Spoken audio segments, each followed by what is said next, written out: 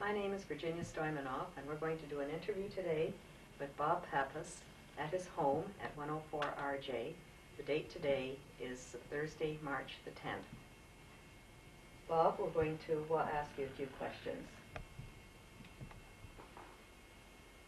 Bob, we're going to go right back to the beginning of uh, your life in the old country. Can you tell us first uh, where you were born and the date of your birth? I was born in a village of Zhelevo, Macedonia, September the 21st, 1912. So that makes you now 82. Almost. Almost, yes. What was your village like? Uh, when uh, what do you remember of your village there? When I was born, there was uh, a war on, the Balkan War, and people were frightened.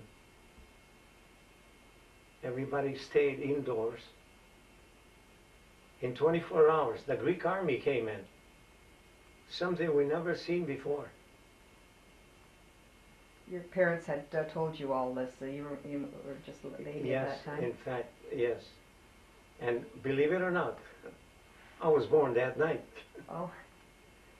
Uh, your, uh, tell us about your uh, parents. Who were your um, uh, uh, Who were your parents? Your dedo baba. Uh, my grandmother's name was Sveta, and my grandfather's name was Lambro. My father's name was Tase, and my mother's name was Tanaska. Do you know? Uh, do you remember their uh, maiden names? Yes, my mother's maiden name was Gamov. She was a family of nine children, five brothers and four sisters. And my mother was second from last. So you have a, a very large family now. Uh, Yes, we did. Yes, we did. tell us a little about your um, life as you remember it in your village. As a little boy. When I was four years old, and I was able to go out and look around the neighborhood, there was a French army there. That the world has, world number one has started. And in another few weeks, they occupied our house, the French, and they wired it for a telephone exchange. Our house being on the top of a hill above the village. And I spent four years with these people, The French soldiers. the French army. Amazing. And uh, I got, I befriended one of the little officers. I was, I was just a young boy, and he took a liking to me. So I used to go down in the village, in the center of the village, and when they were given dinner, the for the army, for the battalion that was in the village, I used to stand on the end of the line, hmm. and and the officer apparently used to wink at the chef.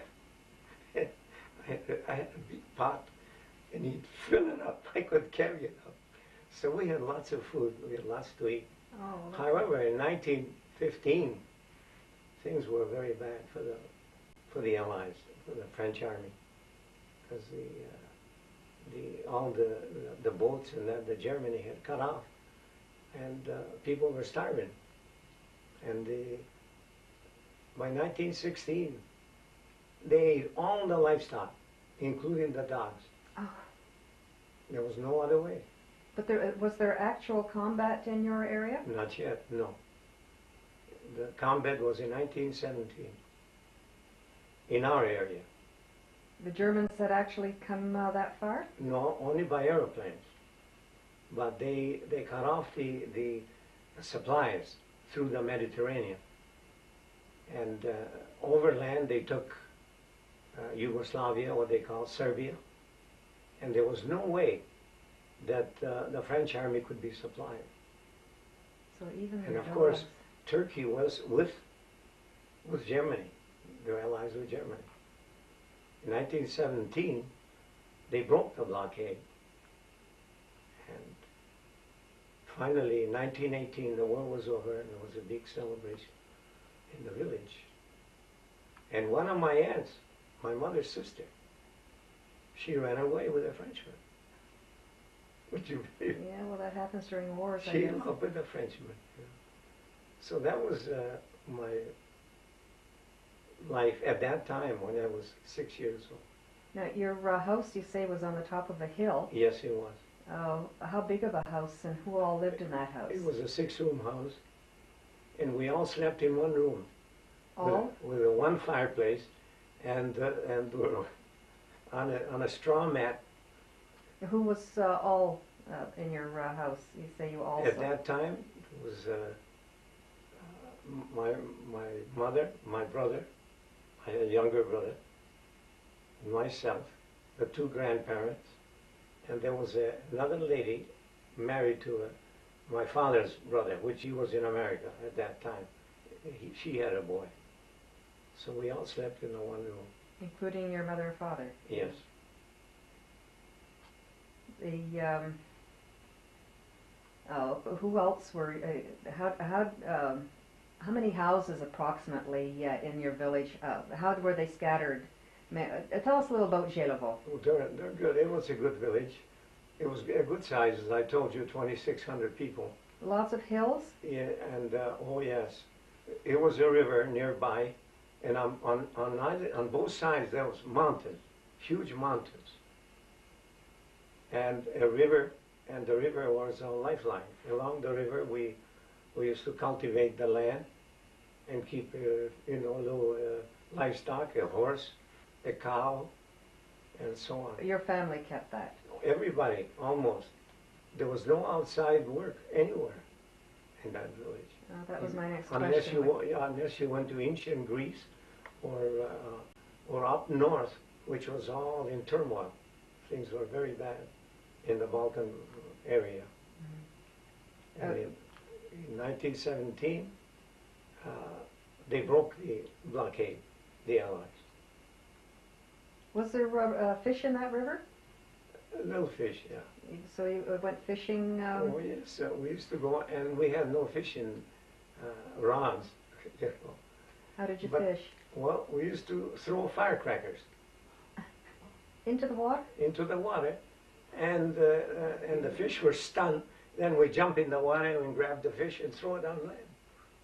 Well, that's that's an interesting way. It was a very lovely invention. Us kids, all the firecrackers are from uh, from the. We used to steal it from the French army headquarters.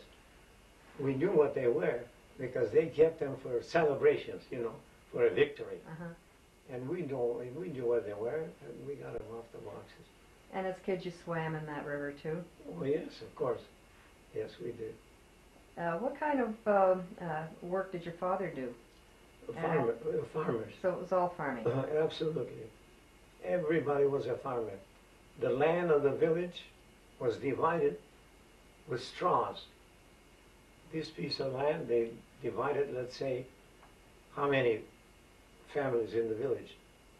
And they divide the land, and then they pull straws with a number on it. Which lot falls to you? That's yours. Uh, was the land uh, fairly good? Was it arable? Not all of it, but they also did, did give you a piece of the forest, you know, in the higher ground. So the land was a hundred percent divided among the village families. It was like a socialistic setup, and very friendly. Uh, everybody loved each other. There was two churches, two priests, What kind of churches were they? two Orthodox churches. Of course, it was all in Greek. That's what I meant. So they, they were both uh, Greek churches. Yes, they did not. There was no Bulgarian church. N- No, Uh, now, when you were going to uh, school, wh- when did you first start to go to school? 1921. Due to the war Mhm. and due to the uh, uh, that part of Macedonia was given to Greece for helping defeat the Bulgars and the Turks. The Allies, England particularly, give that section of Macedonia, which they still have to this day. And they So that's the reason they gave it to them. Pardon? That's uh, that's a, uh, we always wonder what reason uh, they they decided to give that by to uh, Greece staying neutral and helping the Allies by every means they could without going to war. So in 1921, you started school. What grade did you start? Surprising. My mother took me to school by order by the authorities and the mayor of the city, which spoke both languages, Greek and uh, and uh, Bulgarian. And uh, they took me in there, and uh, I sit there, and he says, uh, "What's your name?" Bozhin. So he asked my mother, "What's his name?" She says, "It's Bozhin. That's all. He was born like Bozhin." Well, he says, "That's not a Greek name. We got to change that." So he changed my name to Chris. Bozhin means Borgi, like you know, Christmas time. Uh huh. He said, "We're going to name him Chris." Oh no, she says, "You can't do that. I don't want that. That's that's my mother boy's name, and that's going to be." So they left it. They call me Borgi. And I didn't uh, get. Um, it, was your Macedonian name Pappas, or did they change it at that time? Uh, yes, right away, because our family, in times gone by, they had priests. They had two priests. Original priest came from Constantinople, and his two nephews became priests in the village. Greek priests, in Greek, but they spoke our uh, But they- Slavic oh, they spoke Macedonian and they spoke. Uh, Yes, including the original. And uh, Well, what was your family name? Well, it remained as Pappas. No, For uh, instance, what was it before? He was Constantine, Oh. and there was Risto, and there was Lauro, and so on. But uh, the, the nickname, or the nickname, remained Pappas. Oh, okay. So, uh, It was like a like, what was your father's uh, name before your la- his last name? Well, they go by their fathers. Yes, Tase Lauro, Lombro. and then Lauro uh, uh, Christo, and then Constantine Pappas, uh, the priest. Okay, so uh, your name became Pappas after the Greeks came. Is that is that correct? Even before. Oh, even before. Okay. Yeah, because they were, in Greek, papas means pope, Yes. priest. And uh, um, who else was uh, in your family? You know, uh, how many brothers and sisters did you have? I had one brother before the war. After the war, I had a sister born 22, 24 a brother, and 26 a, a sister.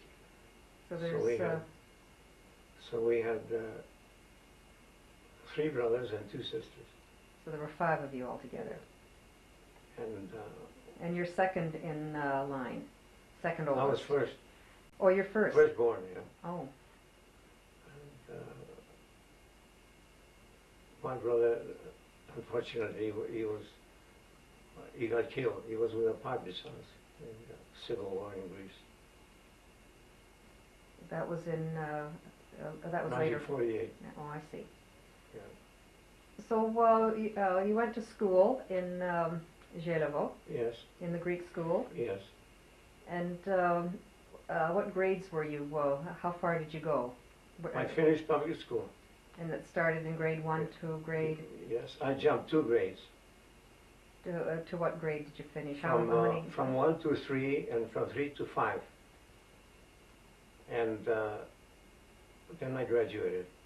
I was altogether. I graduated in 1927 from public school Uh-huh. in Greek. So of course you're fluent in Greek. Yes.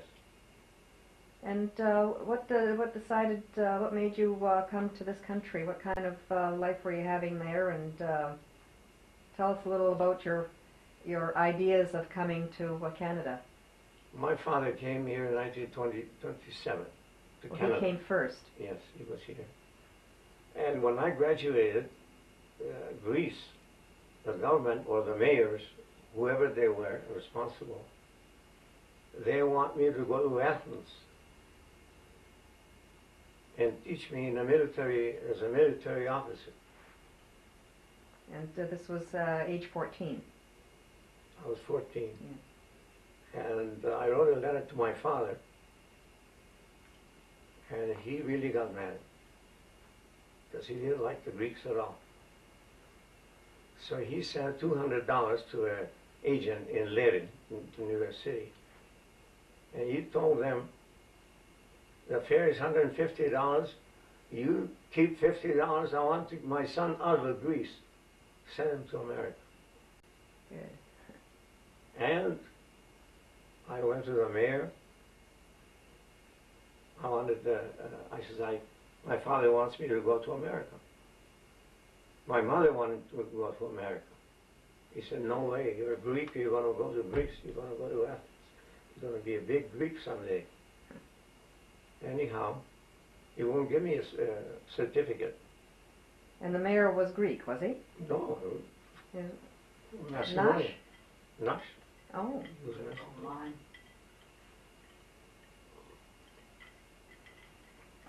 So I went to Lerin and I tell the agent what happened. He happened to be Macedonian. He says, My Kata, I'll fix those Greeks. He says, you come here, I'll tell you what day, secretly. You come to Lerin, and I'm going to cross you across the border to Serbia, or what they call Yugoslavia. uh-huh. And he did. At night, he had all the passport, he had all the papers. And I went to Bitola. I went to the train. He says, don't go anywhere, just go to the train. Don't ask any authorities or what, because you're to get in trouble.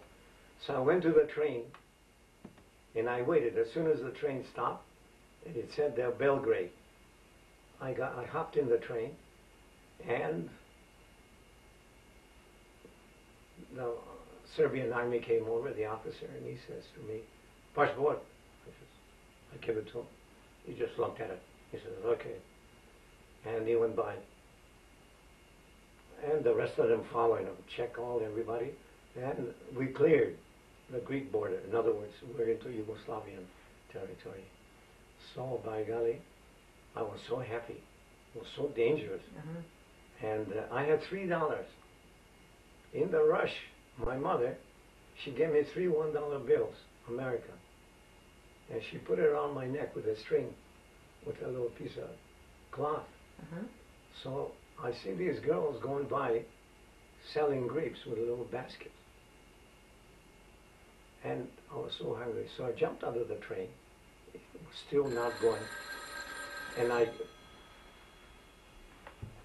And I So you saw the girl uh, from the train uh, with the grapes. What what did you do? I went at the step of the train and I jumped out and I wanted the girl. I got the dollar in one hand and I wanted some grapes. So she, she gave me the whole basket and took the dollar. She understood. She must have realized it was American. And she ran. And I'm waiting for the chance. She's gone. so everybody from the train, they're watching. They start to laugh. So I got in the train with grapes and I started to eat grapes. And that was my lunch all the way to Belgrade. Was that a very train. long trip? Yes, four or five hours. Oh. Yeah. Be- Before we uh, continue on your trip, let's go back to uh, some of the life uh, in uh, Uh, tell us about uh, some of the uh, holidays, uh, Easter, how you celebrated it. The best times were after the war, after the First World War. Thing, things have settled down, and in Greece there was a good prime minister. His name was Venizelos. This man told the parliament, give this minority their rights. Mhm. and let them become Greeks eventually. And he was from Crete, this Venizelos. And he relaxed. The minute he relaxed, all the holidays, Christmas, Jurgensen, Petrovden, and so on, we used to celebrate in the, in the village, in the center of the village. All the girls would dress up beautifully. I wish I could see them, just like that Makedonka that you have here Uh-huh, the in group, Toronto, uh-huh. the group. And uh, it was tremendous. Very, very beautiful. And uh, everybody was happy. No interference. There was a police detachment in the village with a telephone exchange in case of trouble. And they let us free. They were singing and drinking, tables all over the in the center of the village. Everybody was happy. Everybody was intermarrying. There was no animosities or nothing. It was beautiful. Intermarrying, meaning Macedonians with Greeks? Well, Or pro-Greek. Marrying Greco-Mani and uh, so, so-called Bulgaro- Bulgaro-Mani.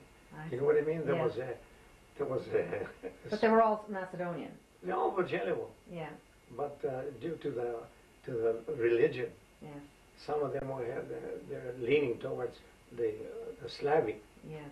and some were leaning to the pro-Greek, hmm and it was a beautiful time. And as I say, uh, I'll never forget it. Did your mother make lots of zolnitsi and things like that? Mother, she was beautiful. She was absolutely beautiful. Work, I've never seen, now I realize, where my mother used to get up six in the morning, feed the little kids, and, and my grandmother was elderly, and she leave the little kids, four of them, and she'd go out to work on the fields. Whatever it was, harvest time, planting time, and so on. She'd come in at, at sundown. Then she had to make supper. She, I used to watch her. It was fascinating. So your Baba really looked after all the kids. Poor Baba, poor Baba. Yeah. poor Baba. I was, her best friend. I was very no. She, Baba, And every day she, your mother would go out into the fields. all day. It, it, Baba. She used to send me to the general store. That's the other thing I wanted to ask. What kind of stores were there in the Yes, village? there was two stores there. They're all Romanians. Oh, Yes. And uh, they, you know, uh, the store was just like Becker's here. It was well stocked. They had everything necessary, you know, for the for the village people. And uh, grandma used to send me down to buy a, a little bottle of brandy. And she had a little private jewelry box, and she used to lock it in there. And of course, she was afraid I might spill, I might snitch on her. oh, who was this? Your, My grandmother, oh, and, uh, you know. and so she says, "What would you like for lunch today?" I said, "I want scrambled eggs with feta cheese. You know, we Uh-huh. serve the cheese." She says, "Okay." She'd cook it up. I feel so good. She said, "Don't you tell your mother what you want brandy." And then she'd take a couple of swigs of the brandy. And I went on and on till I left in 1927 with Grandma. She was so beautiful. and um, uh, the holidays like Easter. Uh, tell us how you celebrated Easter and and uh, Tremendous Christmas. celebration in the center of the village. All Slavic dances like we have here, just like we have here at the churches uh-huh. and at the Macedonian Hall. Exactly the same. And when I listen to uh, when I uh, listen to the radio and that, they're exactly the same. It was a hundred percent Slavic. At Christmas too. Well, how did you celebrate Christmas? Christmas, the service was in Greek, you know, the priest and the chanters. But the woman in the back room, they're all chit-chatting in Macedonian. From time to time, the priest would say, Molchete ženi, you know. they, they, they shut up for about a minute, then the gossip starts again. And how that- did you celebrate it within your family? our family is, we have uh, Easter eggs. We saved them. We only had two chickens. And uh, we used to save the eggs. But Grandma used to give me scrambled eggs and cheese. Whenever she uh, she, she wanted to keep you quiet. she'd go in the hen house and pick one up or two. I'll never forget. So you were her special. Uh, Yes. We had a conspiracy with Grandma, the two of us. It was wonderful, really. And when I left, I left secretly in the middle of the night. And they didn't know? No. Your mother or your grandmother didn't know? They knew I was leaving, but I left. And your father had left uh, a year before. He Yes, left in he was 1927. in, he was in Toronto. Yeah. I What, what made him come to Toronto? he there was absolutely no hope with the Greek uh, government there. There was absolutely no hope for anybody getting a job. He had to go outside the country, and they're they're going. They're going to Bulgaria. They're coming to America. They're coming to uh, Australia. People were leaving. All the men, and they left their wives and children at home. So, uh, uh, how did he uh, come? Do you do you know uh, anything about uh, how he came? Uh, Well, did, his did brother- someone was someone here? Yeah, his What- brother was. So his brother brother, sponsored him to sent him money. Right, the, you know, the lady and, and the boy, which we grew up together. I see. Yeah, yeah, he sent the money and my father took off. He came to Canada. Thank God, Yeah. Who was your uh, uncle here? Uncle Paul, Paul. all Last name? papas. Oh. And um, well, we'll get back now. Um, uh, is there anything else about the village that uh, we forgot to mention? Yeah, oh, I know what I wanted to ask. Uh, what other ethnic um, uh, minorities were in your village? You say. Romanians. Were there uh, No, the storekeepers, just storekeepers? that's all. Uh, what their family was there? there. No, no families. Just a man himself. Oh, And uh, there was a little village not far, which uh, is Romanian village, or, or Roman village, you might say. It was there 2,000 years, since the Byzantine Empire. uh huh. And the women, they were like the Turkish women. They never work on the fields, they never got out of the house. But the man used to go all over the area and open stores in every village, general stores. The man. Oh. Uh, were there no uh, Jews or um, uh, other nationalities? There was no Jews at all. Uh, there was no gypsies. And uh, they used to come in the summer, the gypsies. Uh-huh. They used to come from Hungary and bring wrestling bears and selling horses and, and, and stealing everything. On one occasion, uh, I was, uh, my father was plowing a field and he had the oxen, you know. And when the sun was up, I, I got out of school and I went to look after the pair of oxen. And I had a little uh, sack, a knapsack and a little food. And I was sitting on a rock in, on the highway and the oxen were gra- you know, were grazing. And here comes a bunch of gypsies with horses, with, with jingle bells. All the horses had bells on them. Oh yes. And, you know, they draw your attention. So they come over and the beautiful gypsy girl, she stopped and she says to me, you are a nice boy.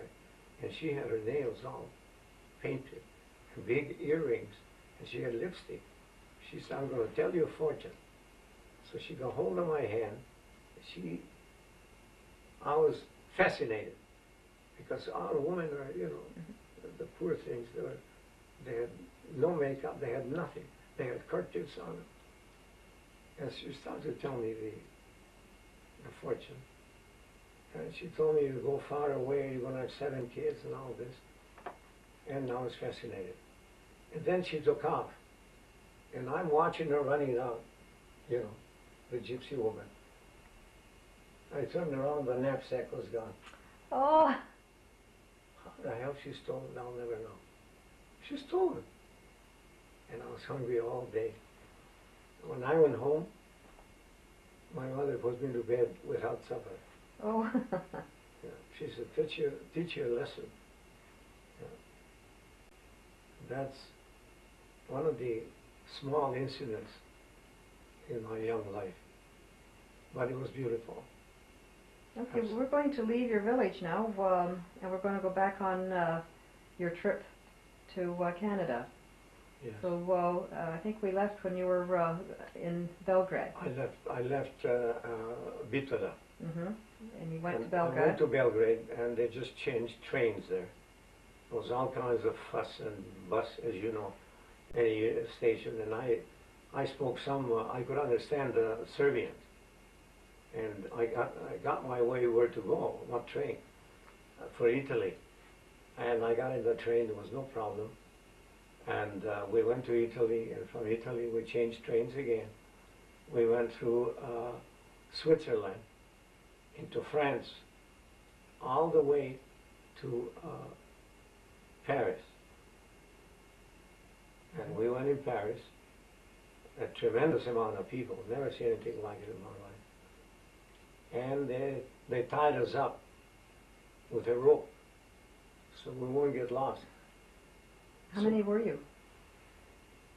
There must have been a hundred people from all over, Oh, from Russia, from Germany, from everywhere, but you were the only one from. Uh, from Zelo. yeah. little orphan.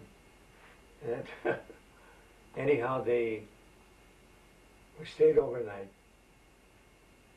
They gave us something to eat. The next day, they took us for a train to Le Havre, like near Cherbourg, Uh-huh. you know, near the English coast where the big liners were. Oh, yeah. And they took us over there, and uh, uh, I see that there are people undressing, all the men. They're undressing. So there was two women, heavy-set women, elderly. They said, "Hale, hale, take your clothes off." So I had to. I took my clothes off, and they're dumping them in big pots, boiling pots, and uh, delousing them. I didn't know that they were doing that. They're killing the you know Yes, yeah. And I went in and they turned the water on. You know. I saw these men. Never seen a naked man in my life. In, the, in the old, coun- old country, there's no such thing. To see a man naked. Never. And anyhow, I got through there. I was shaking like a leaf.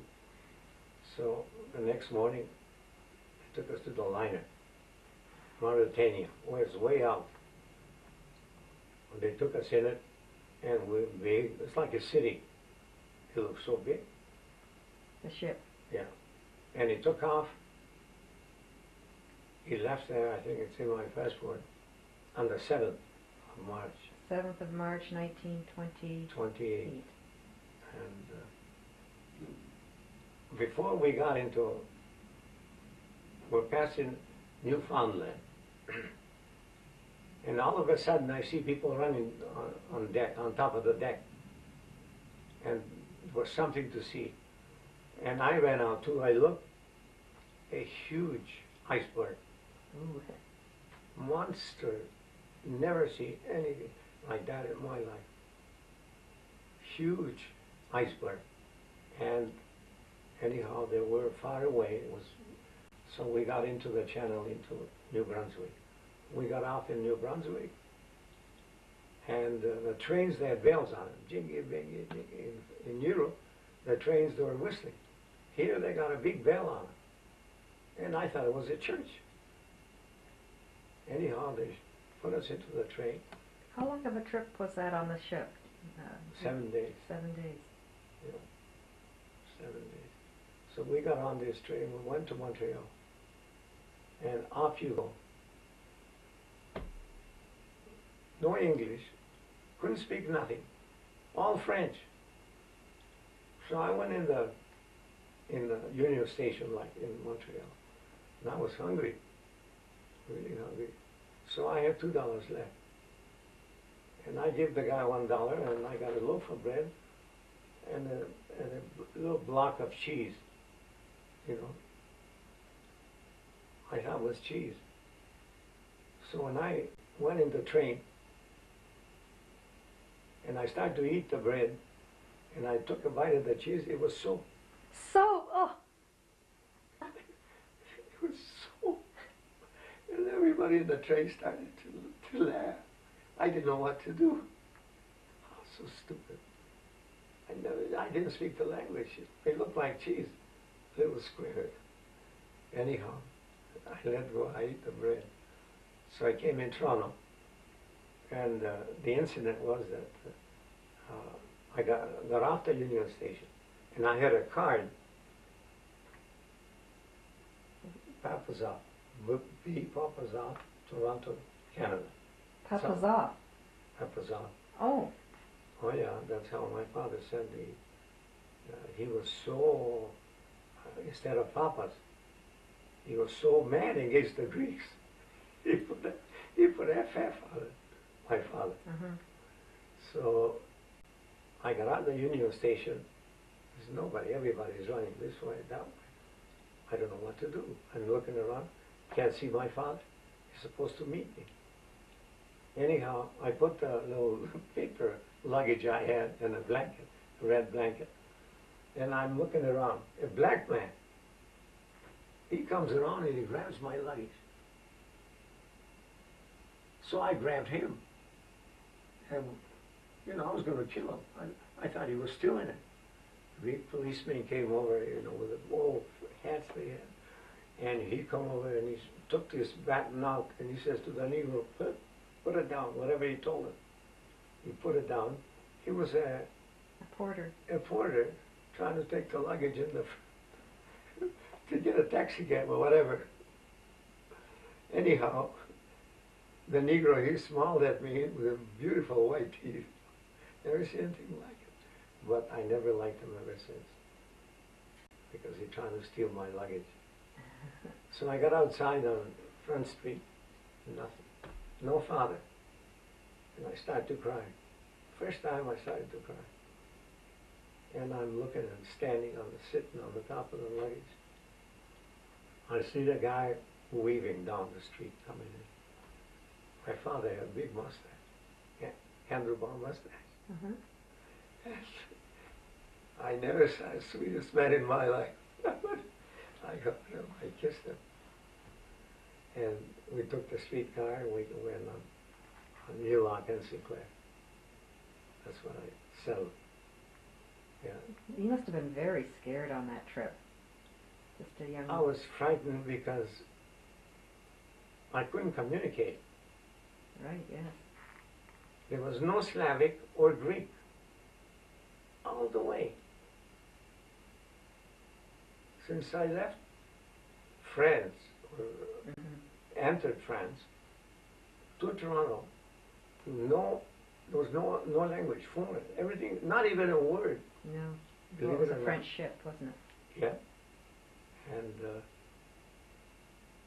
on Friday, Friday afternoon, Nikoloff family, we uh, give me something to eat. Here comes an Irishman, walks in, boom, boom, with a little card that somebody arrived here from overseas. And we got scared. What's it all about? He says, this boy has to go to school Monday. they gave us the Davenport Public School. How did they know that uh, there was somebody that came? He followed the immigration department, I guess, and the age of the person. And this was the first day that you were there. Uh, on Friday, as soon as I, You arrived on the Friday. on Friday in the afternoon he came. And he said, this boy's got to go to school Monday. That was a good thing, you know. Yeah, it was a good thing. Really. Yeah. So they took me to school on Davenport, and they don't know what School. to do with it. And uh, they're trying to get my name, Bozhin. Terrible. He said, my name is Bozhin. My uncle Paul, he was with me. He doesn't know it. The teacher says, well, I'll tell you what you do. I'm going to change him to Bob. Bozhin Bob. He says, okay. Okay. So they named me Bob And you've been Bob ever since. ever since. But eventually, you know, when I was in the dairy business, I changed it to Robert, a little more sophisticated. And I cut the Pappas off, off to Pappas. I went back to the original name because when I went in the dairy business, uh, that name was a detriment to me. You know, it was hurting me. hmm most of the people in Metro, they were pro-Greeks. They went into, with the Greek restaurants. They picked up the, the restaurant business. They opened the, their own restaurants, but they were pro-Greek. And with the off, it didn't work at all. hmm So I went and cut the name off. And I was welcome after that. So the the family you stayed with was um, Nicholas. Paul Nikoloff? Yeah. And um, did they have a big family? What kind of house was it? Oh that, yes, uh, it was a six-room house, and they had a little uh, uh, convenience store on the corner of Sinclair and uh, and Keele. And uh, my father got a job working in a bowling alley, where he was working at a bowling alley, cleaning at night, oh, nighttime. And uh, she stopped stopped giving me dinner after the thing wore out. Uh, my father, I guess he wasn't. after what wore out? After the, you know, the welcome.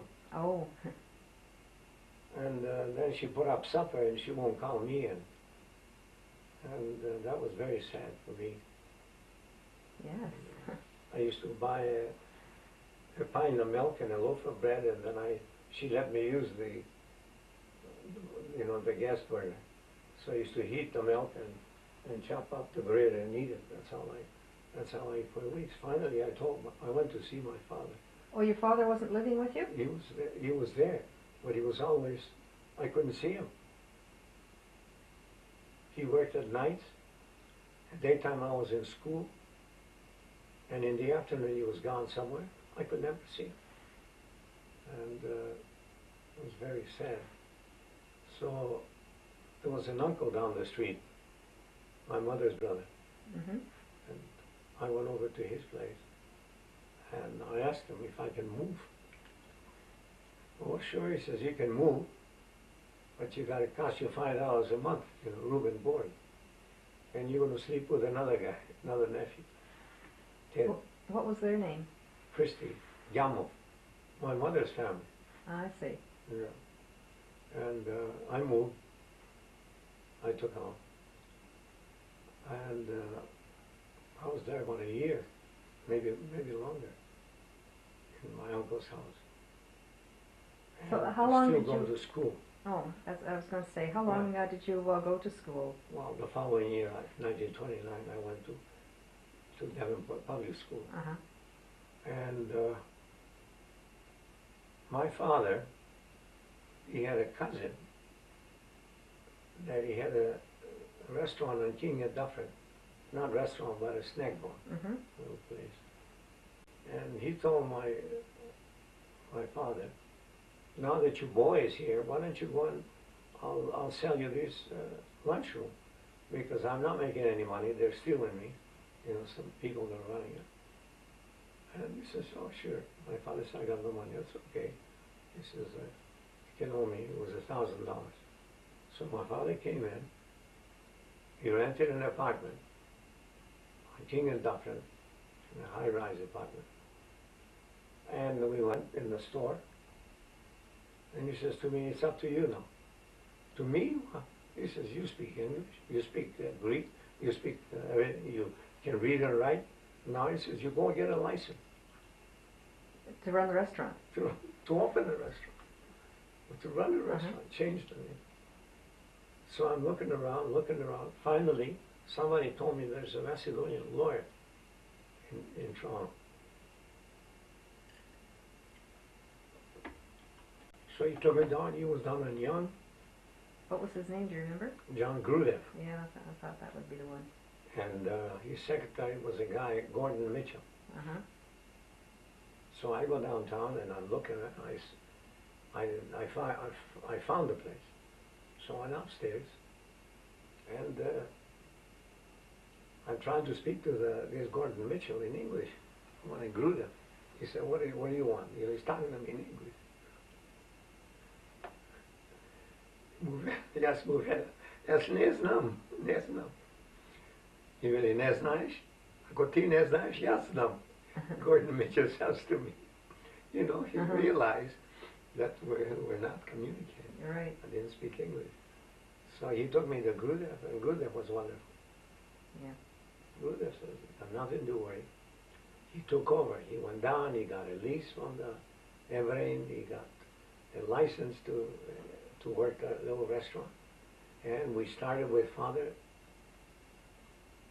What was the name of that restaurant? Dufferin. Dufferin Restaurant. And how long uh, did you have that with your father? a life lifesaver. That restaurant. We got in there with Dad.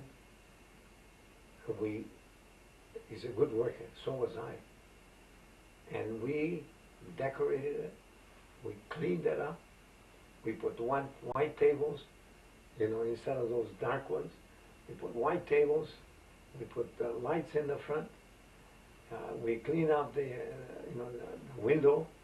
We put a sign in there lovely signs and little flowers. People start to come in. I don't speak English. My father, by that time, in a year's time, you know, he hardly spoke anything. And we started in the restaurant business. Who did the cooking? A Chinaman, Oh, yeah. The Chinese, they're good, I'll tell you. 12 hours a day they work. I have no trouble with them. They're good. And no politics, no language, nothing. Just yes and no. They knew what they're doing. They used to give me the menu. And uh, as such as it was, you know, a few things, corned beef and cabbage or Irish stew. And uh, I got on with it. I got on. what did you do in the restaurant? I was outside, so was father. But father was doing like a busboy. And I was getting, I was the boss. I was on the cash. I know how to ring the cash register and so on. And I used to go, take two hours in the afternoon. I used to go downtown, get off on uh, Yonge Street, and walk up and down Yonge, north, and go into Greek restaurants and steal menus. Oh, And I got caught. I got caught in one of the restaurants. And uh, the waiter told of us, this guy, and uh, it was five cents Coke. I used to get a little Coke, five cents. And the Greek guy says to me, you know, you in Greek, you know, they got a thin vocabulary, the Greeks. And right away I spotted that he's Greek. You know, the Greeks, when they, Uh-huh. when they order, they say, we say chicken sandwich, they say chicken. yeah, You know, they can't use the je, the stuff. sure, yeah. So, he says, are you Greek? Elena says, Ela pedimos mi veli. Ah, man, my boy mi veli. Speak to me in Greek. You're a Greek, you're this and that. And he helped me out. I used to go to him, and uh, he, he always told me what, what to order, how to order. He was teaching me. I understood Greek, naturally. hmm And I got going, and we had a big success on King and Dufferin with my dad. Terrific. We made a tremendous. Not only that, one day there was Royal Winter Fair, you know.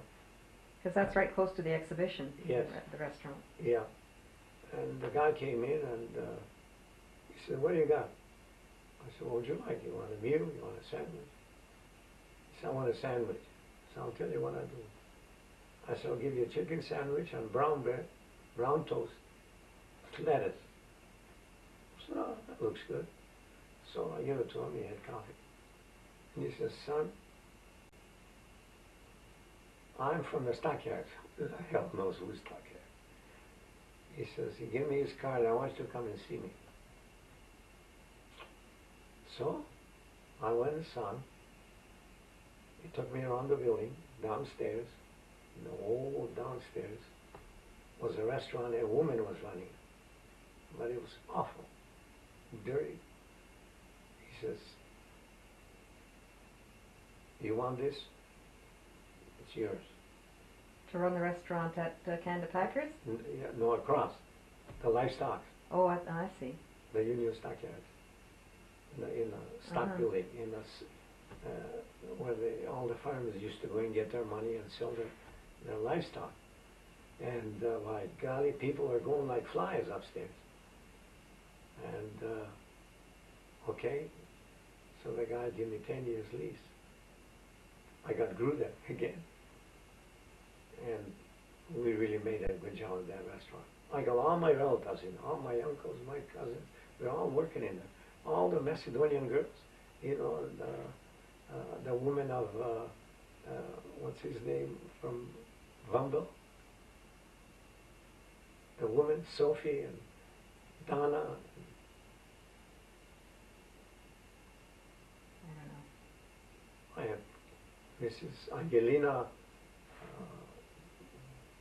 her name, uh, the tobacco man? Pardon? Ralev? Dina Ralev, his wife. Oh, yeah. All the Macedonian girls, the whole clan from Ontario Street, all of them. And I give the business to Teddy. He's, he passed away, didn't he? The Bulgarian guy. Donna's husband, Oh, Kochev. Kochev. Yeah. I give him the, you, he got a job with uh, Western Bread, and I used to buy 50 loaves a day. Yeah. Farmers, hundreds of farmers, hungry. They come in the morning, they want a steak with two eggs. Yeah. The farmers. They're terrific. And we. Uh, So we- how long uh, did you have that uh, uh, restaurant there at the Stockyards? Until the war started, the Second War, 1940, uh, 1939. like 40. And, the, and then I got I got a car, and I met Violet in 1932 at the picnic, Labor Day picnic, and uh, you know the usual Macedonian band and all the dancing there. And your father used to come there. Mm-hmm. and uh, all of them, Silo, Nichols, and him, they all used to be there. And they, uh, I see this chick. She was, she had a, this, a pleat thing, you know, and her hair was cut, her neck was clean, all shaved, and she come around talking to a little boy in a chair. And I says, oh boy, you know, I've seen in by the two restaurants now. You know, I knew what the Canadian or the American were, you know, girls. Our girls were still with the long hair tied up. You know what I mean? And no lipstick, no nothing. They, with their mothers, they go wherever the mother went, uh, the daughter went. The mother had to be there just in case somebody's going to steal it. I saw this little beautiful little thing. So anyhow, she, I said, hello. Uh, she turned around. She took off like a deer. And uh, she had a cousin, Sophie, you know. You remember Sophie? That she made him married to Mila? Oh, yes. Sophie. I knew her because she used to be, she wanted to nail this guy, Jack Nikoloff, you know, when I first went in, I knew her, Sophie. But he didn't, he didn't like her. So I see this Sophie. I say, Sophie. I said, do you know who this guy? She's my cousin. So I said, oh, good. So she come around, and again she come around, you know, Foxy. Come around to see her brother, you know, Jim. And I'm standing there. She come on, I says, ah, you're beautiful. I said, what's your name? She said, who wants to know? I said, I want to know. She said, well, my name is Violet. And that's how. 1950, 1932. 1932, the last picnic Where were these picnics? at Lambton, Right. Lambton Park. Do you remember who the um, uh, the the orchestras were at that time? Oh, yeah, what's his name, the guy, guy with the clarinet? Vircho? Vircho. Vircho, most of them. Then there was another guy, Udarmensko, with a trumpet. He had a, he was good. And uh, that was wonderful. That was wonderful. That was a, a wonderful time of uh, life in Toronto. We're going to go back to that uh, in a minute. The picnic, Yeah, Bob, we're going to talk a little bit now about uh, your youth in Toronto. then I'm coming back, you know.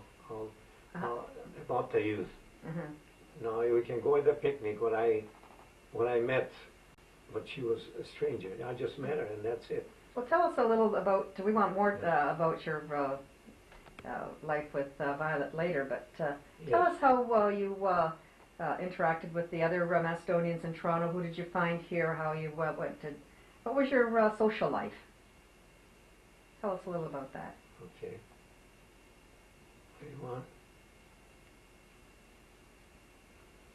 When I met Violet that day, she was a strange person to me, but she was beautiful. And I wanted to find out who she was or where she lived. So when I came back in the restaurant the next night, I went next door and there was a fellow there. His name was Oleg Filkov. And this man, he was quite a man about town. I asked him if he knows this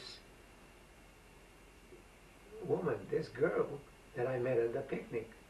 And of course, I found out that she was a Grozdanov. Oh, yes, he says. Don't you know? He said, Where you been all your life? He said, There's a Macedonian hall. There's a church. And there's, a, there's hundreds and hundreds of Macedonians there. All the families from Toronto, they go to 95 Trinity Street. Now on the East End. I said, oh. He said, I'll tell you what I'll do. I'll take you Sunday. They have concerts every Sunday. So, sure. We left at 7 o'clock on Sunday. We went down it. We got off the King car on Trinity. We walked down half a block, and there it was, 95 Trinity Street. We went in there, and the place is full. Full. Unbelievable. There was a concert going on, and there was a stage playing. And they're playing a good Macedonian skit.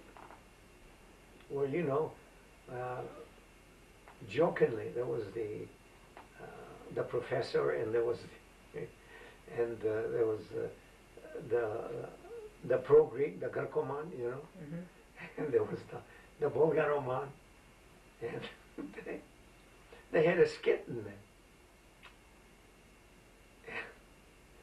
Being, I wasn't oriented, you know, into the Macedonian, as I told you, I just Mhm. come in, and I just went to this picnic and come back.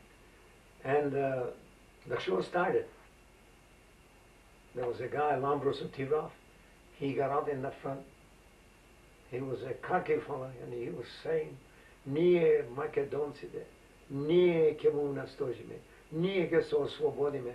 Also he said, Alexander nego uzgradije Grcide, which is true, which I was beginning to, you know, get in my brain that there must be a, a big difference between, uh, you know, the, uh, the Macedonians and the Greeks.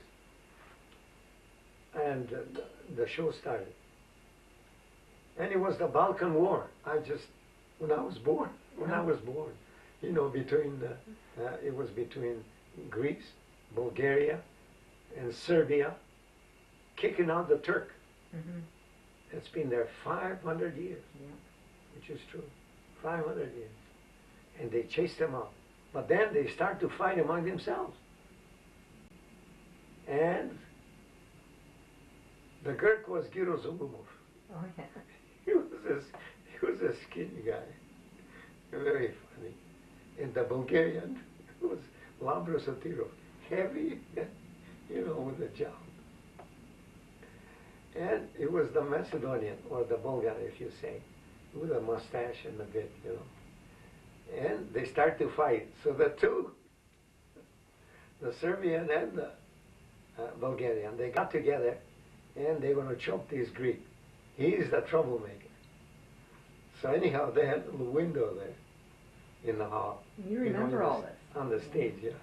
And this is my first time. Yeah. And uh, they, anyhow, the Bulgarian says, well, що го болиш той човек?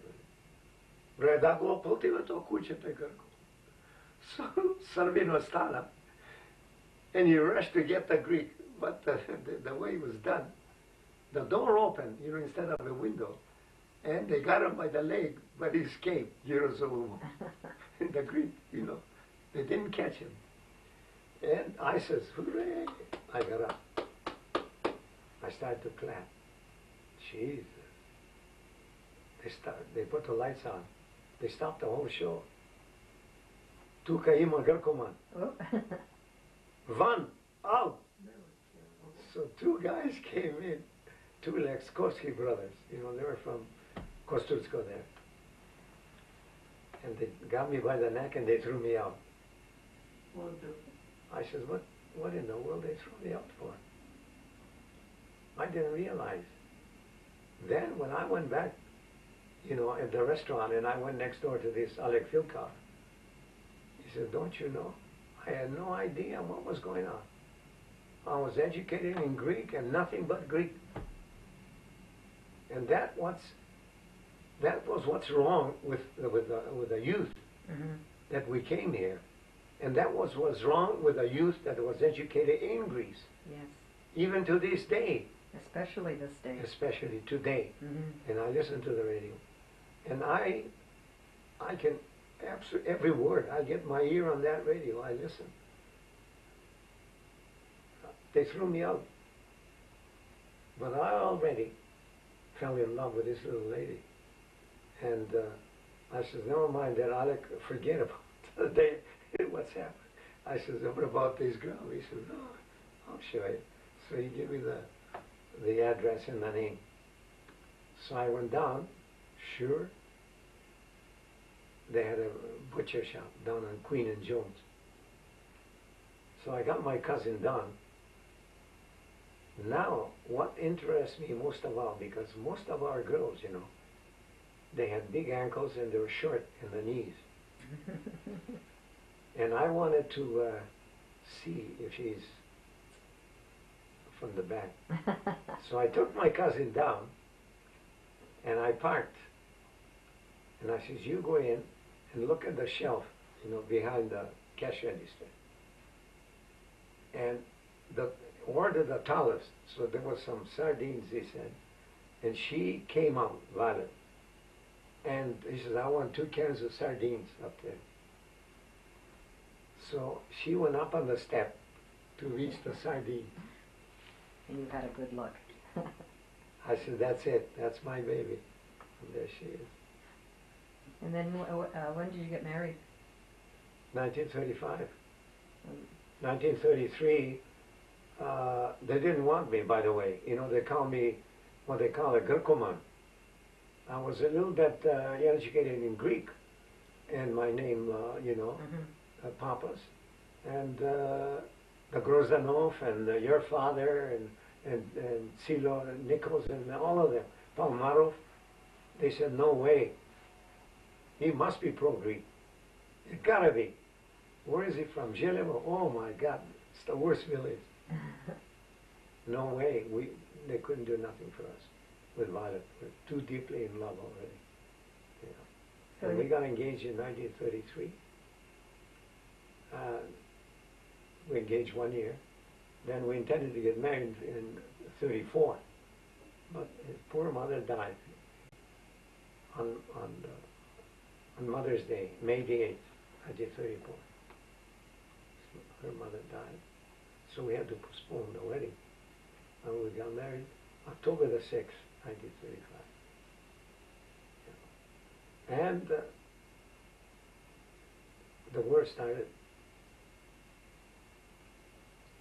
Was it after the war, Vala? Well, 1934, uh, uh, 35. When we got married? Oh, yes. Well, we had the stockyard. We had the two restaurants. And uh, we moved on the junction area, we bought a house there. And I was running the stockyard Where did you buy your house?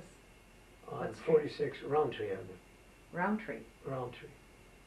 Just north of, St. of Sinclair. hmm And we had Helen there, our daughter, and, uh, and Larry. We had two children. And the war was over. So you had the stockyards all the time during that time. Was, the war was over. And uh, this guy, Filkov, you know, the- he married my cousin, first cousin. Uh-huh. He worked for the people next door, and he met this Stella, my cousin, and he married her.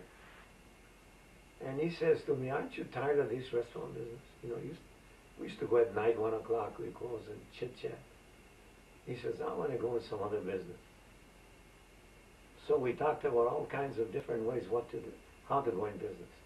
You know, including the funeral parlor. Okay. He says, I'm not afraid from dead people. He says, I said, not me. Never. Never will. So we decided to buy dairy. And we looked all over Metro. And there was a, a Jewish dairy on Palmerston and College. And we approached these people. There were four Jewish partners. And they're fighting, they're not, not getting along. And we bought it. Twenty-five thousand dollars. 5,000 down, What year was this? Nineteen forty-seven. And And, we took over February first, nineteen forty-seven. and uh, it was you and uh, Phil Cobb. Phil Cobb. And then after that, we took his brother-in-law. He was a good man. And uh, in no time at all, because I spoke Greek and Macedonian, I approached all the restaurants, pro-Greek or pure Greek or strictly Macedonian. And we begin to go ahead. We're getting very good indeed. Eventually, we built out 25 trucks wholesale. In 1948, I went down at the with uh, father. I became the secretary of building a new church in Cyril. We're moving from Trinity to 237 Dundas with Sackville. uh, Sackville. And I became the secretary of the building committee. And we did, in 1950, we built the church. And who were the um, the principals there? Uh, the the main people that started that church. Well, Father Iliev, of course, he was the, the, the reverend at that time. And uh, there was a fellow named Boris Petrov. There was uh, uh, a fellow, uh, Boris Damov. There was Grozdanoff, of course, her father. And there was Oh, quite a few, quite a few. They were very eager and willing, like uh, Vanya Zhuglov, uh, Slava Zhuglov from Bombay, and uh, so many, like Pagliari, the old man. They're numerous, absolutely. They're, they're running all over us. Was Lambros Sotirov with that? Uh, He died. but he but he was with uh, the Saint Cyril group. Oh, yes, he was with us. And uh, we had a celebration New Year's Eve. At, uh, he was with the Father Iliev in the car. I was a car behind. And uh, they stopped the car and they jumped. They started to holler. Uh, what's the matter? Lambro Sotirov took a heart attack? In the car. in the car. And he died on Broadview. Oh dear, Yeah. I didn't know that. 1949. Of course, we had uh, Dr. Malin. He was behind the whole thing. hmm You know, although he's Bulgarian, by the way, hmm but he was 100% with us. Yes, Absolutely. he was a great man. Yes.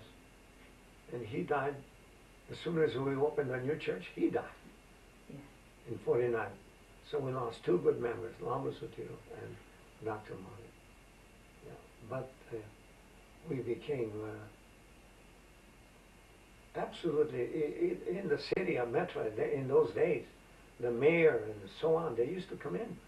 They used to come in on a holiday, on Christmas or some occasion we had.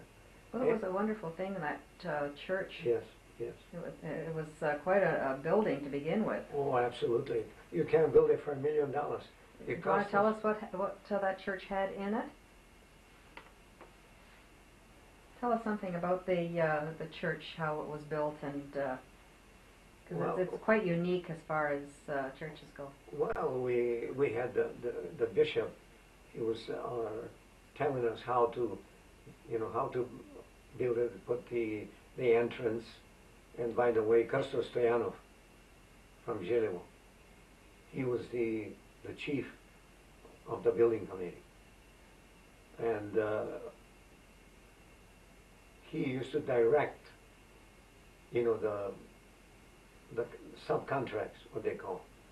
And I was with him almost every day to, uh, there were some incidents, in other words, uh, they, the bishop wanted a kube, you know what I mean, like the, you know, like in Moscow, you know, the, the domes they Oh, have. yes, uh-huh. Well, Cristo Stoyano didn't want the dome. He wanted a, where the bell is in the front, mm -hmm. you know, make it higher. No, was an argument there, and uh, the old man was stubborn. However, he relented. Then we put the kube in the center of the church, and uh, They're doing something there now. I went by there. Uh, are they making that higher? no, I don't know what they're doing. I don't It know. was uh, covered covered in uh, scaffolding all around there, so I don't know maybe it's they're. leaking or something. I don't know. In any case, we uh, it was tremendous. I'll tell you. Everybody was falling over each other to become a member. Mm-hmm. Yes, I, I'll tell you, we had uh, all the first class Macedonians, not only from Toronto, but Hamilton, Windsor, Mhm. and so on. Well, the one I meant to the church was unique, uh, n- uh, not only in design, but uh, it had a, a huge hall Oh, tremendous. You could sit 700 people, easy. and uh, another hall at the side, plus the- a, a big bowling alley. Yes. And the bowling got- alley uh, brought up a lot of people. We had a hall downstairs for about 200. Then the bowling alley, 10 pins. We had 10 alleys. hmm Bowling alleys. So a lot of people came uh, to that church. And we subscribed or joined 10 teams, 10 of five men each, 50 men, the cream of the Macedonian people in Metro, in the bowling alley. Mhm. We were there 10 years. Then we, on Mondays, on Tuesdays, we organized couples. It was beautiful, couples. And every Tuesday, after bowling, we go to some restaurant anywhere, whichever, usually a, you know a, man, a member that belonged, and have a sandwich and so on.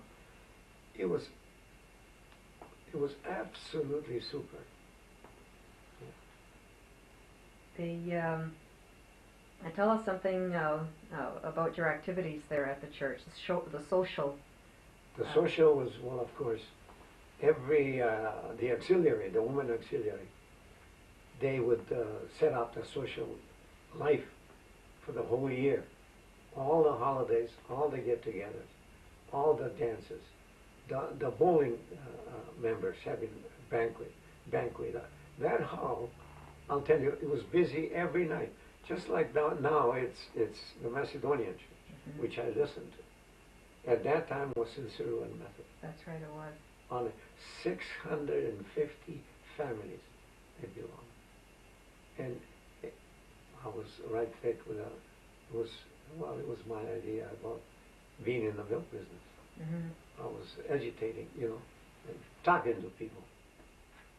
And of course, we was, uh, the colony became famous in Metro, not only in Metro, but in Ontario and Canada. And some of the MPPs, they used to come in there. They were glad to see us. They've never seen a circle dance like that. Yeah. Absolutely. Two or three hundred people doing the dance like they do now at, uh, at the Macedonian church. And I'm very proud of the Macedonian. The, remember, we're a generation ahead. Now this generation, Sveti Clement hmm and the other churches, they are the core now, like uh, Treefoot, like the other. Now we must support them. hmm We must support them with every means. We cannot ever turn our back to them. Never, because we're going to lose our roots. We're going to assimilate and disappear. We don't want to do that. Now that Macedonia is free We have to support it. Absolutely. We'll go and visit it. For God's sakes, it's down in, deep in our hearts.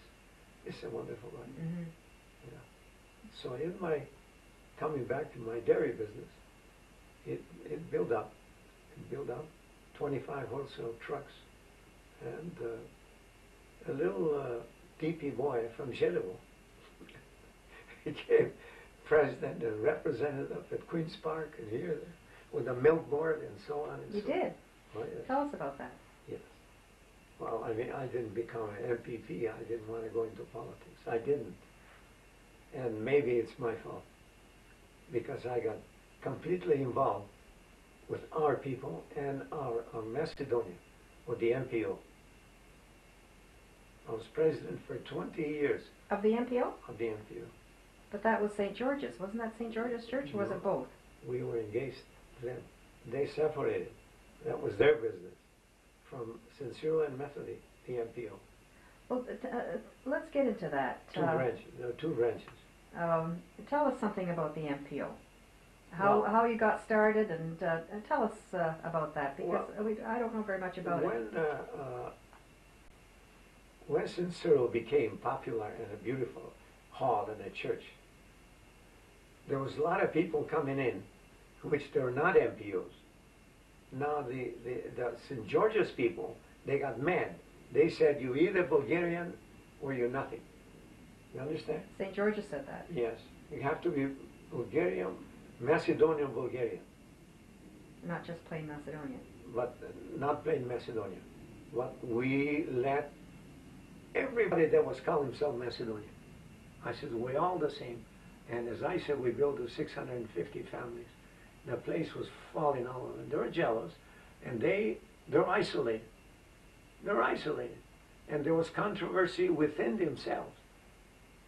We were represented like I was a delegate for I don't know how many years in a row in the in the conventions and we insisted that call ourselves Macedonian, not Bulgarians. Don't do that. Because we have Macedonia in Yugoslavia, we have Macedonia in Greece, and you cannot join. Bulgaria cannot take us home. They tried and they lost. Bulgaria was cut to pieces, trying to get Macedonia. We should be Macedonia and nothing else.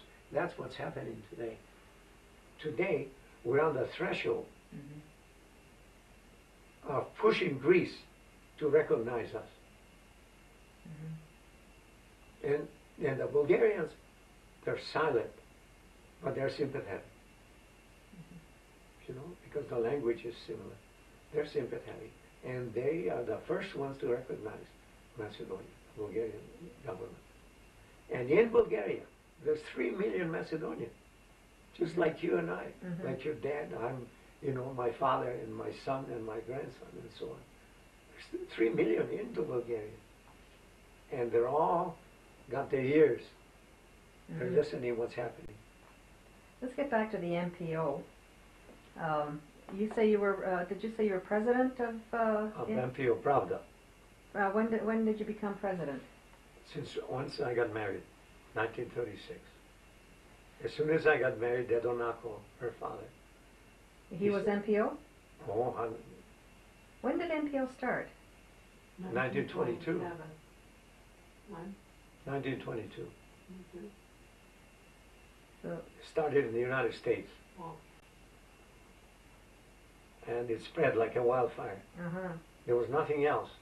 And when I joined the Virginia, I I loved the name Macedonia.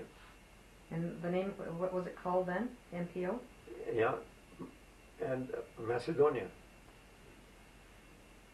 Nothing else. Macedonian Political Organization. They never mentioned either Serbian or Greek or Bulgarian. And they also they set up, they put up a paper, Mhm. and the paper said Macedonian Tribune, and that got me to stay with them and work for them, which I did. I spent money and time. I could have been a politician in Now I'm going to move on a little bit because we're coming to the end of the tape. okay, Uh, how long did you have your dairy? 1947 to 1960. Then we due to the uh, uh, market conditions. You know, the home delivery and all that was stopped. And the Beckers and Mac's start to open up. We merged with Valley View Oh. On Pape and Danforth, Mm-hmm. and we strictly wholesale restaurants and hotels. And uh, in 1970, I retired. In 1970, we joined Silverwoods. They were in trouble.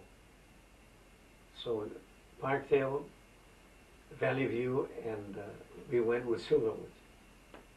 In 1970, I retired.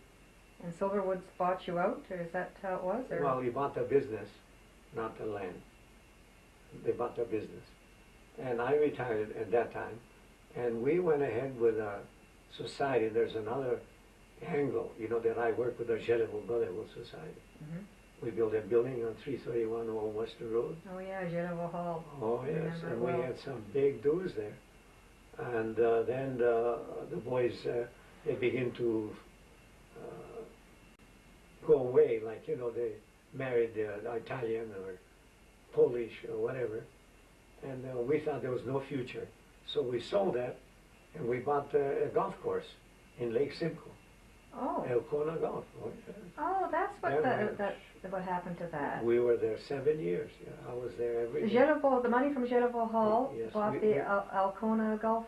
That's right. We sold Zhelevo? Hall. I didn't know that. And we bought Alcona Golf. Very interesting. And and uh, does the Geneva uh, organization still own Alcona? No, we sold it. Oh, you sold just that recent- too.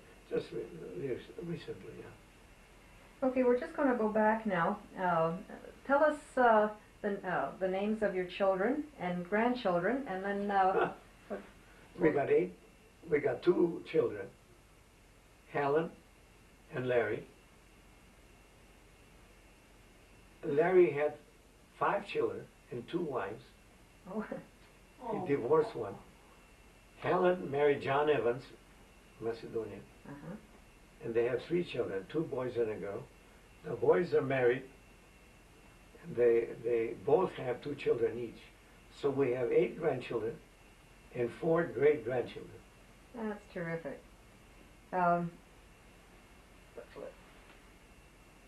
you want to give us the names of um, of the grandchildren, and then we're going to get some pictures in of uh, what you have of your because you have Yeah, uh, some of your we- grandchildren yeah, around We here. have uh, Larry, Helen's, Larry, I mean uh, Philip, Helen's children. Yes. Philip, Is he the hockey Peter. player? he has both. They were at Harvard, both of them. Oh, Yeah. Cost him nothing to graduate from Harvard. Philip and Peter, and Dina Lee. She is not married. She will be soon. That's Helen's children. hmm And the two boys, they have two children each, one of each. Philip, he's got Courtney, a girl, and Hayden, a boy. Peter has Caitlin, a girl, and Justin, a boy. Larry, my son, as I say, from the first wife, which was Macedonia, Gina, maybe you know, hmm he had uh, Stacy, Anastasia, and Robert, two. Then he married an Italian. She divorced Gina. And with the Italian, he has a son, Christopher, and twins. Isn't that nice? twins, uh, Jonathan and what's the girl's name? Jennifer. But we'd like to get um, uh, a Violet in here and uh, show uh, how beautiful she still is. Yeah. Okay. Please don't let me, I hate exercise. Come on now, come on. Now come we're going to get you in just for a little This bit. This is your last chance.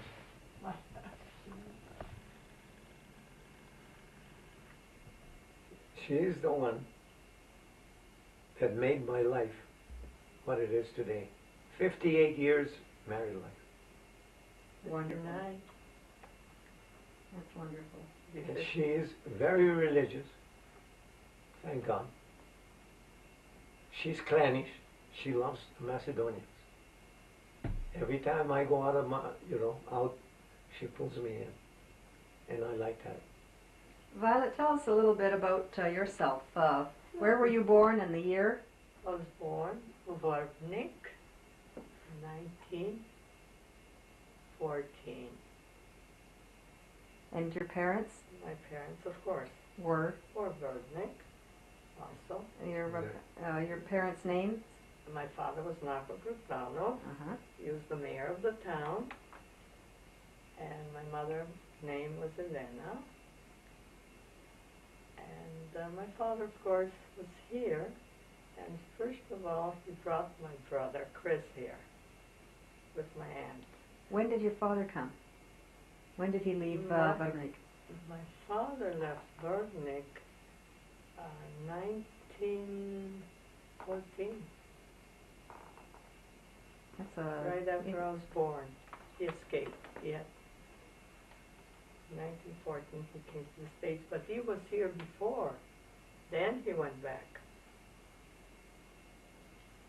to the village. Then came back in 1914 here.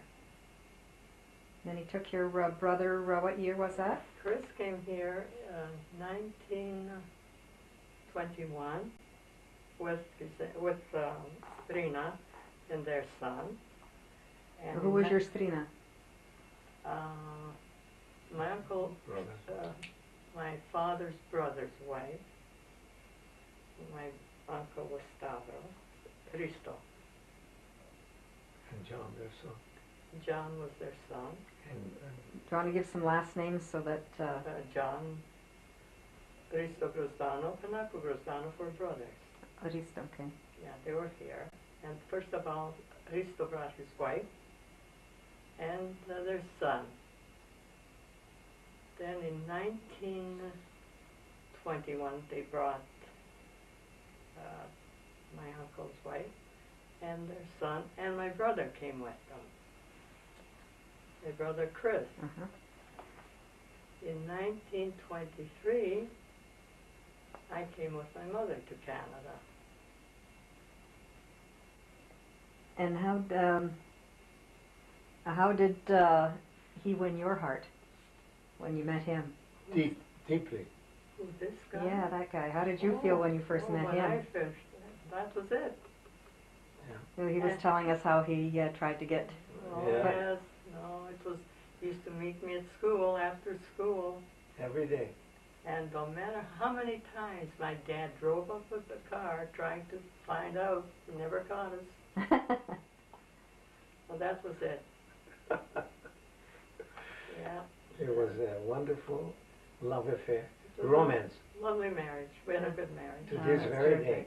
Good marriage, and May God give us a little and bit I hope you have a lot more years. I thank hope you, it I does. hope so, I hope he gets Oh, better. we're- That's we're all I extreme- want, want we're nothing else satisfied. in life, but for my husband to get better.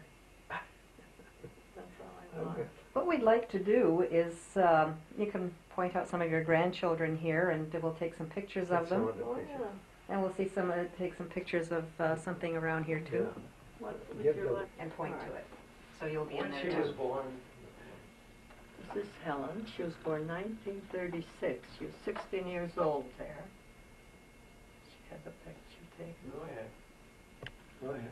This is our son Larry, he was eleven years old there. Born 1941. Yeah. Union Church in Zhelevo, 1908. Permission to have a service in the Slavic language. It's the first day, a big celebration. Doc Market. Peter, he's a doctor. He's an orthopedic doctor. She's a secretary. Probably. for a neuro- neurosurgeon. Visit at Zhelevo. Bob took me to see Zhelevo. I simply had to see that town. And where was your house uh, here? Behind the, behind the willow trees.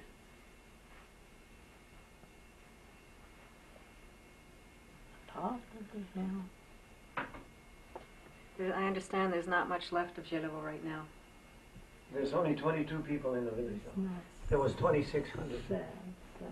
Let's see, there's the one church, the other church is over here where the cemeteries are. And this, like, No, that's the highway this is Going like to some more Larry. kids here. in Costur. This way goes to Larry, to Costur, that way to Larry. Bisha. My granddaughter, Larry's daughter. Carleton University, Ottawa. And she lived to be 99 years. That's your mom? That's my mommy. What a wonderful Macedonian human being.